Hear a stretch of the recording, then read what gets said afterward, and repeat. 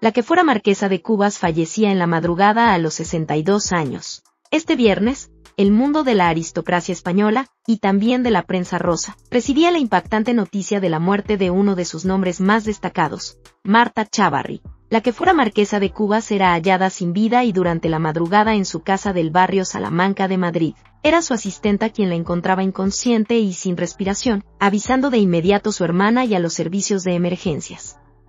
A su llegada, Marta ya había fallecido y no se pudo hacer nada más. Por el momento, su entorno más cercano no ha confirmado la causa de su fallecimiento, pero medios españoles como Locke han asegurado se trata de muerte natural.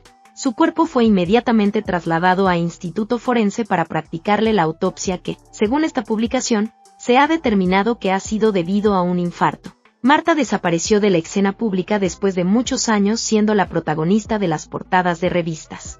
En 2014 se supo que tuvo un accidente doméstico que la llevó a ser operada del ojo y la mandíbula. Su entorno más cercano asegura que se encontraba estupendamente bien de ánimo y feliz con la nieta que acababa de darle hace un mes su único hijo, Álvaro Falcó.